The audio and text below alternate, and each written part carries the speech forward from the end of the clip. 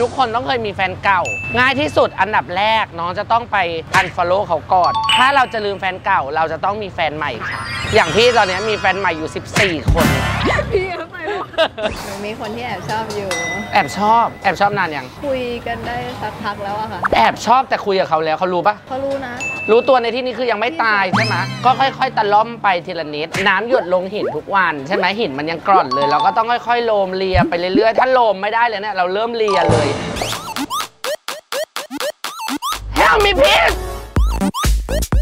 อ่า ตอนนี้เราก็มาถึง EP ที่ 3 แล้วนะคะสบายสบายไปมีปัญหาก็ทักเข้ามา ปัญหาทุกคนก็ส่งเข้ามาใน t ิ k t o k คือเยอะมากเอาจริงๆ แต่ว่าปัญหาแต่ละคนก็จะเป็นแบบแอบรัก พื่อนนู่นนี่นั่นคือเป็นปัญหาแบบเด็ก ๆอะ่ะเราอยากเจอแบบพีคๆจริง ๆ อย่างเช่นแบบปัญหาล่าสุดที่เราเคยเจอมา วันนั้นเอ็มนั่งไลฟ์สดอยู่แล้วก็มีคนทักเข้ามาแบบว่า เออแม่ เพื่อนยืมตังค์ไปยังไม่คืนเลยหนูต้องทำยังไงดีช่วยด่าเพื่อนให้หนูหน่อยเนี่ยมันหน้าด้านมากเลยอะไรอย่างเงี้ยกูก็เอายังไงดีวะทำยังไงทำยังไงดี ก็เลยด่าไปเลย หนูชื่ออะไรลูกสมมติว่าชื่อก้อยก็แบบอีก้อย โง่อีโง่เงินของมึงแท้ๆยังไงให้หลุดออกกระเป๋าไปได้ คนที่โง่คือมึงไม่ใช่มันอ๋อแม่สวัสดีค่ะ แล้วก็ออกไปเลย เรื่องนี้สอนให้รู้ว่าเงินอยู่ในกระเป๋าเรา เขาแค่ยืม เราจะไม่ให้เขาก็ได้ แต่สุดท้ายความมีน้ำใจของเรา คือเราเป็นแม่พระเลย แบบเดินมาแม่ยืมตังค์หน่อย200 เฮ้ยมึงเมื่อไหร่จะคืนเงินกูอะสุดท้ายเขาไม่คืน ใครเป็นนางมารเราไงอีเวนเอ้ยทำไมมึงไม่คืน สุดท้ายนางฟ้าเมื่อกี้หายไปแล้ว เพราะฉะนั้นตัดปัญหา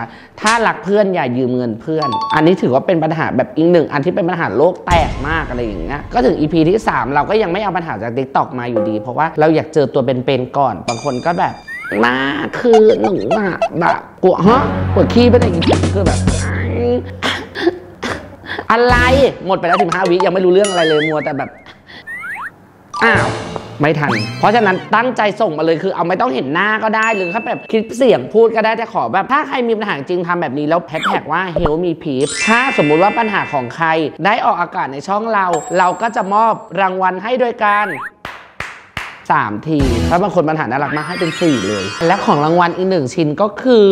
คุณจะได้โดนเราด่าแบบฟรีๆเลยนะคะ เป็นของสนน้ำหน้าคุณอีกหนึ่งชิ้นโบแดงเลยที่จะต้องแบบว่าโดนเราด่าแบบ อย่างนี้เลย แบบต่อหน้าเลยเราจะไม่ด่าใครให้พั่มเพื่อจะด่าคุณคนเดียวเท่านั้นไม่ต้องเรียนแล้วกลับบ้านเถอะปัญหามึงสามอย่างอันเนี้ยวันเนี้ยมันเป็นแค่คำเดียวเลย มึงโง่ค่ะแต่ละคนก็อาจจะมีปัญหาจริงอะแต่มาเจอกูเข้าไปคือไม่ได้เลยเลยอีกตัวปัญหาล่าสุดเมื่อเช้าเดินเข้ามาครีเอทีฟเพิ่งบีบเลยว่ามีปัญหาอีกแล้วแล้วจะบีบก็แบบไม่โป๊ะใดๆทั้งสิ้นนะคะ ก็มีน้องฝึกงานที่ฝึกงานอยู่แผนก HR มีปัญหาไปดูว่านางมีปัญหาอะไรลุย Help me please ถ้าอยู่แถวบ้านคือระยะทางแค่นี้ก็คือนั่งเอาผ่าน นี่ไม่ได้เวอร์หรือว่าอะไรนะบอกไว้ก่อน คือโดนเลี้ยงก็แบบคุณหนูอะแบบแม่ชื่อหนูอะ security คือน่ารักมากใจดีสุดๆอะ มานี่มานี่ดิเออหนูเหรอคะ นั่นแหละ มานี่กูเอาแล้วต่อยกูแน่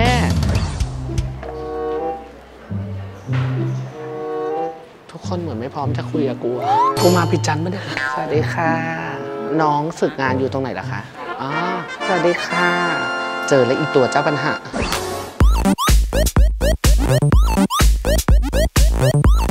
อ่าสวัสดีค่ะน้อง เป็นน้องที่ส่งปัญหาเข้ามาใช่ไหม ไปคุยกันตรงอื่นไหมลูก ได้ค่ะ ไปเร็ว ตรงไหนตรงไหนไปลูก ไปสิ เดินนำไปสิ ตรงไหนเนี่ย หล่อนชื่ออะไร ชื่อจินค่ะ ชื่อจินชื่อเล่นชื่อจริงก็ชื่อจินเลยเหรอนางสาวจินอย่างนี้เหรอชื่อจริงไม่ใช่ ชื่อจริงชื่ออะไรชื่อจริชื่องจินตนาเชื้อแพทย์ค่ะ จินตนาเชื้อแพทย์ทำไมไม่ไปฝึกงานที่โรงพยาบาลอะหนูก็ไม่รู้เหมือนกันนะพี่ ทำไมถึงมาฝึกงานที่ไทยรัฐ พูดดีๆนะเขาว่าไม่ให้มึงผ่านได้อนะยากมาเขาดัง ใช่เปล่าจริงๆอย่าให้รู้ว่าส่งไปที่อื่นแล้วเขาไม่รับนะ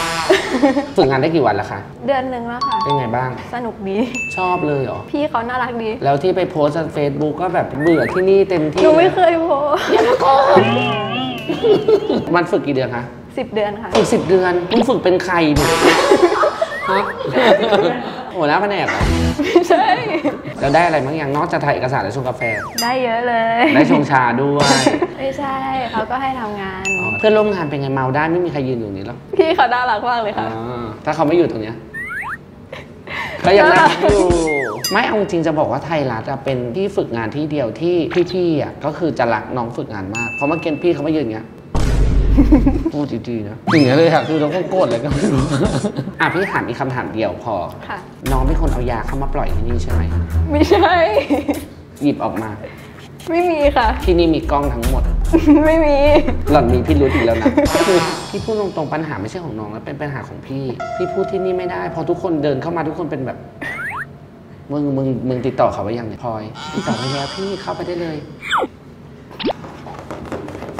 เฮ้ยเขาไม่อยากเล่นนะกลัวไปหาที่คุยแบบที่คุยเสียงดังได้หรือเปล่าไปใช้พ่วงไหมคะอะไรนะคะใช้พ่วงคืออะไรอะคะเป็นตลาดนัดค่ะ พี่ไม่ได้จะดิบพี่ไม่เคยเดินตลาดนั้นเลยพี่เดินแต่เปิดท้าย เออไปหาเดินแถวนั้นก็เถอะมีปัญหาเยอะไหมเราวันเนี้ยเยอะอยู่ค่ะพี่หัวใจใช่ไหมบอกไม่ได้ มีแอบชอบแบบพี่ฝึกงานบ้างไหมไม่มีค่ะ ใช่เปล่าไม่มีอย่าหลจริบงๆตาค่ะผมครับ พูดมา แล้วมีปัญหากับเพื่อนร่วมงานปะเอาจริง ไม่มีพี่มันต้เขาองมีน่ารักมากเลยค่ะเขาให้ขนมหนูเต็มโต๊ะเลย เขาให้ไปทิ้งหรือเปล่า ให้มากิน อ๋อแล้วไปหาที่คุยกันใช้พ่วงเหรอ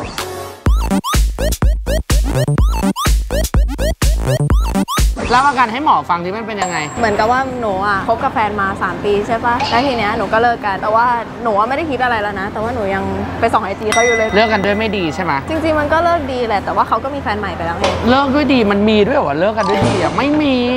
แล้วเคยแบบไดเรกไปไหมว่าเออคิดถึงนะไม่อะไรอย่างเงี้ยไม่เลยเหรอค่ะไม่ได้แบบส่องแบบชอบนะ แต่แบบส่องแบบอะไรแบบแค่ดูเฉยๆอะอยากหยุดส่องอ๋อ อยากลืมแฟนเก่าใช่ไหม Thank you. คนทุกคนต้องเคยมีแฟนเก่า ง่ายที่สุดอันดับแรกน้องจะต้องไป unfollow เขาก่อน แอบดูได้ แอบดูได้เฉยๆเพราะเขาไม่ได้ตั้ง private ถูกปะจำไว้กฎของการส่องคือห้ามมือลั่นห้ามแม้กระทั่งไปกดไลค์ให้เขารู้สึกเลยอะเพราะการที่เลิกกันใครคิดถึงก่อนคนนั้นแพ้จำไว้ตอนเนี้ยถ้าเขารู้ว่าเรากำลังส่อง IG เขาส่องสตอรี่เขาเนี่ยถ้าเขารู้คือเราคือคนแพ้ทันทีทำได้แค่แอบมอง แล้วเวลามันจะช่วยให้เราอะลืมไปเอง และกดอีกข้อหนึ่งถ้าเราจะลืมแฟนเก่า เราจะต้องมีแฟนใหม่ค่ะอย่างพี่ตอนเนี้ยมีแฟนใหม่อยู่ 14 คน พี่เอาไปลูกไม่ถ้าเราจะลืมแฟนเก่าเราต้องมีแฟนใหม่ เราต้องมีอีกคนนึงอย่างน้อยนะเว้ยเราไม่ได้เอาเขามาเป็นเครื่องมือ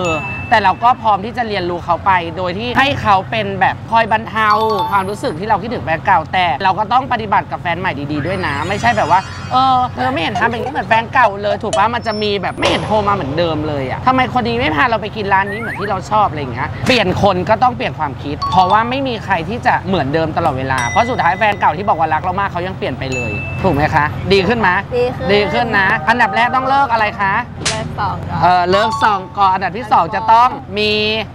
ผัวใหม่จำไว้ใครคิดถึงก่อนคนนั้นแพ้เราต้องอยู่แบบผู้ชนะ อะเมื่อกี้ก็เรียบร้อยแล้ว ตอนนี้ใจมันกำลังขุ่นมัวเดี๋ยวพาไปกินน้ำเย็นๆ มันจะดีขึ้น เพื่อเราจะได้ผู้ชายคนใหม่กลับไปดามใจเราลูกสาวมากทำงี้ เวลาจะข้ามถนนทำงี้ นี่เห็นไหมจอดทุกคน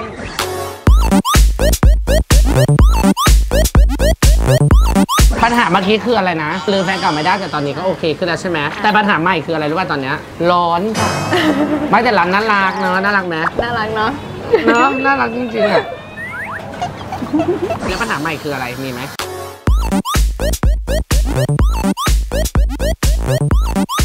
คนที่แอบชอบอยู่ แอบชอบแอบชอบนานยังคุยกันมาได้สักพักแล้วอะค่ะ แอบชอบแต่คุยกับเขาแล้วเขารู้ปะเขารู้นะ รู้ตัวในที่นี้คือยังไม่ตายใช่ไหมอะยังไงพี่เล่าสอนวิธีจีบเขาวิธีจีบอะแล้วเขารู้หรือยังว่าเราชอบเขาหรือแค่คุยกันเป็นแบบเพื่อนปกติ เป็นเพื่อนค่ะ ก็คือปัญหาน้องตอนนี้ก็คือเป็นเพื่อนกันแอบชอบเพื่อนด้วยเขามีท่าทีไหมนิดๆมีท่าทีอยู่ใช่ไหมเราไม่กลัวแบบว่าเฮ้ยเราไม่ได้คิดกับแกแบบนั้นหรอก็กลัวนะพี่ใช่ไหมถ้ากลัวอย่างนั้นเราก็ต้องเก็บความรู้สึกไว้บ้าง อย่าไปแบบโถมสุดตัวว่าเราจะต้องได้รับคำตอบอย่าหวังคำตอบว่ามันจะต้องเป็นในแบบที่เราให้หวัง เพราะไม่งั้นเราจะผิดหวังถูกปะถ้าสมมติเราเริ่มแบบเพื่อน จริง ๆ แล้วถ้ามันผลลัพธ์มันถูกต้องมันก็ต้องจบแบบเพื่อน ถ้าเราเริ่มแบบเพื่อนอยากได้จบเป็นผัวเนี่ยเรางงทุกคนเลยอย่างเนี้ย พี่มาซื้อในฐานะลูกค้า แต่พี่อยากได้เขาเป็นผัวเนี่ยก็คือไม่ได้ถูกปะจุดมุ่งหมายมันคนละแบบ เราเริ่มแบบไหนเราต้องดูผลลัพธ์ตอนจบ เพราะฉะนั้นต้องเผื่อใจไว้ ก็ค่อย ๆ ตะล่อมไปทีละนิด น้ำหยดลงหินทุกวัน ใช่ไหมหินมันยังกร่อนเลยเราก็ต้องค่อยๆโลมเลียไปเรื่อยๆถ้าโลมไม่ได้เลยเนี่ยเราเริ่มเลียเลย จริง ๆ การกระทำอะมันมากกว่าคำพูดอยู่แล้วอะไรเงี้ยเราก็ทำให้เขาเห็นว่าเออเราดูแลเธอได้นะ เราสม่ำเสมอแล้วเราก็ไม่ได้มีคนอื่นคนคุยอะไรนะอะไรอย่างเงี้ยสักวันหนึ่งก็น่าจะได้อยู่ ไม่ตีนก็ผัวมีอยู่สองอย่างส่วนใหญ่น่าจะได้ตีนนะ วิธีทำให้ผู้ชายรู้แบบเร่งด่วนเป็นวิธีแบบทางลัดเลย ตัวเล็กก่อนเลย ถ้าเจอผู้ชายรู้สึกว่าชอบตัวเราต้องเล็กแบบ หยิบหยิบหลอดให้หน่อยดิไม่ว่างเลยอะอะไรอย่างเงี้ยผู้ชายเขารู้สึกว่ามีสองอย่างเราน่ารักกับเราปัญญาอ่อน ผู้ชายอาจจะมองว่าเราปัญญาอ่อนให้ทำตัวเล็กเลยอย่าแบบแข็งแรงมากอะให้เปิดโอกาสให้ผู้ชายเขาดูแลเราบ้าง ไม่ใช่แบบเอ้ยเดี๋ยวเอ้ยกูวิ่งไปซื้อเองมึงเอาเลยอะไรอย่างเงี้ยผู้ชายก็รู้สึกว่าอีนี่มันดูแลตัวเองได้แล้วเขาไม่ต้องดูแลมันแน่ๆอะไรอย่างเงี้ยหน้าตาต้องสดใสเนี่ยถอดแว่นใส่คอนแทคเลนส์ตัดสกินเฮดรับรอง ที่ฝึกงานไล่ออก มันก็ทำตัวให้รู้สึกว่าเออแบบร่าเริงตลอดเวลา เราต้องเป็นรอยยิ้มให้เขา เขาจะได้แบบยิ้มให้เราอะไรอย่างนี้ วันนี้ก็คือสรุปมี 2 เคสเนาะสรุปง่ายๆ คือการลืมแฟนเก่าอย่างที่พี่บอกไป 1. ใครคิดถึงก่อนคนนั้นแพ้ 2. อย่าไปส่องไอจีเขา 3. ต้องมีคนใหม่มาดามใจ อันดับที่ 2 ถ้าสมมติจะจีบ คนที่แอบชอบกันมานานๆ เราต้องสม่ำเสมอ ต้องตะล่อมไปเรื่อยๆ ถ้าสมมติว่าเราขาดตกบกพร่องหรือเราหายไปจากเขาเนี่ยเขาจะรู้สึกว่าที่ผ่านมามันก็แค่เพื่อนกันเว้ยอะไรอย่างเงี้ยเราจะเป็นอะไรเราต้องชัดเจน แต่อย่าลืมว่าเริ่มยังไงผลลัพธ์มักจะจบแบบนั้น อย่าคาดหวังคำตอบทีนี้ก็ไม่มีอะไรแล้วสิ่งที่หนูจะต้องเครียดต่อไปคือบ่ายโมงครึ่งแล้ว ยังไม่เข้าที่ฝึกงานเลย มึงเตรียมหาที่ฝึกงานใหม่แน่ๆอันนี้กูช่วยมึงไม่ได้แน่เนี่ยใครที่มีปัญหาแบบน้องจีนนะคะ อยากจะคุยกับเอ็มอยากจะให้เอ็มเข้าไปแบบนั่งไปนั่งจี้ เข้าไปคลายปัญหา ไม่คลายปัญหาก็เพิ่มปัญหาให้เนี่ยทำคลิปตัวเอง 15 วินาทีนะคะ ลงแอป TikTok แล้วก็ขึ้นแฮชแท็กว่า Help Me Peepz เอ็มจะเข้าไปอ่านแล้วเอ็มก็จะดึงมาเป็น choice ทันทีเลย เราจะเรียกคุณว่าอีตัวปัญหา อยากกินกาแฟถึงสามทุ่มเลยไม่อยากนอน